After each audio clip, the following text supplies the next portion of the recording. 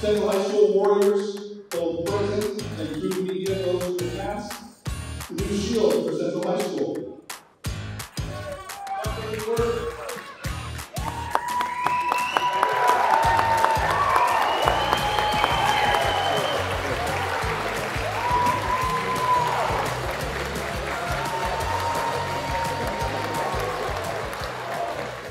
I'm a senior here at Central High School, and this, I'm part of this uh, mascot deciding program. We had, uh, oh my gosh, there were so many. We had a Spartan uh, mask that somebody like designed themselves. We had so many that students themselves designed. It was really difficult, but towards the end, we came up with C for courage.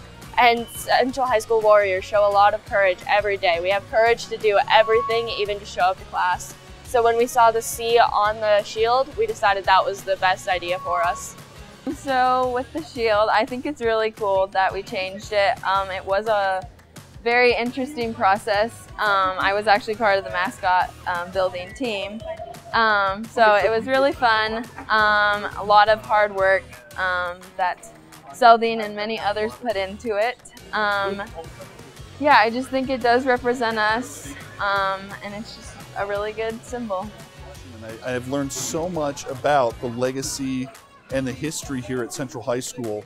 Uh, it has been um, uh, it has been a wonderful process. Um, talking to generations of warriors from the past, um, and as you're you're trying to create that legacy for the future, being able to to really um, honor those that have walked before us um, as we help prepare for moving forward from there. Um, it's it's been a really great process. It's it's been a lot of fun. It's been a lot of work, um, but it's also been a lot of fun. I'm so excited. It makes me more comfortable than wearing a an Indian head, just because we are in such a diverse world that we don't need to label ourselves as one. We are everyone individually.